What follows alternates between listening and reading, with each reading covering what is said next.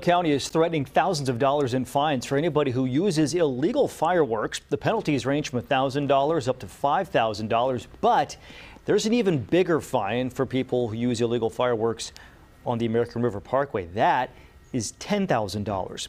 The Sacramento County Board of Supervisors approved the new fine, saying that that area is an ecological and recreational asset that needs to be protected.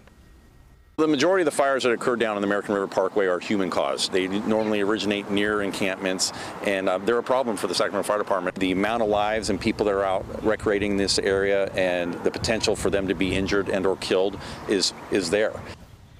The new ordinance goes into effect on Friday, so if you were thinking about celebrating 4th of July with some illegal fireworks, you would strongly want to reconsider that. Yeah.